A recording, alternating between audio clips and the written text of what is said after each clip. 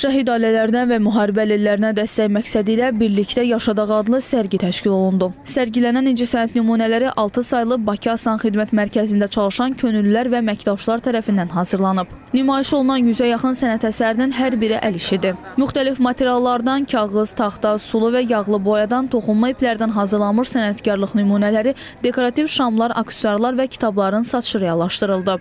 Şəhid ailələrinə və qazi ailələrinə bir dəstəyimiz olsa nə mutlu bizə. Bu gün bütün könüllülər burada canla başla e, iştirak eləyirlər. Satışlarımızın da bol olmağını arzulayırıq ki, az da olsa bizim də köməyimiz dəyə bilsin. Əl işidir, mən hazırlamışam. E, Ondan sonra bu da əl işidir, könüllərimiz hazırlayıb. E, Bu da əl işidir. Hətta bu stəkanlar belə əl işidir. Qiymətləri nə qədərdir?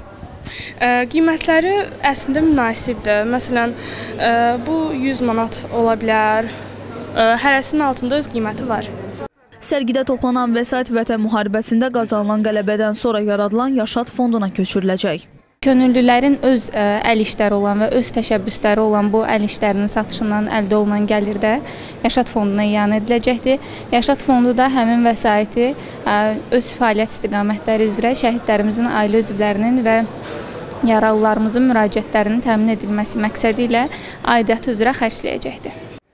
Xatırladaq ki, Yaşad fondunun əsas məqsədi şəhid ailələrinin və hərbi əməliyyatlar nəticəsində əlilliyi müəyyən olunmuş şəxslərin sosial müdafiəsi sahəsində vətəndaş cəmiyyəti təşəbbüslərinin reallaşdırılması üçün müvafiq platformanın yaradılmasıdır.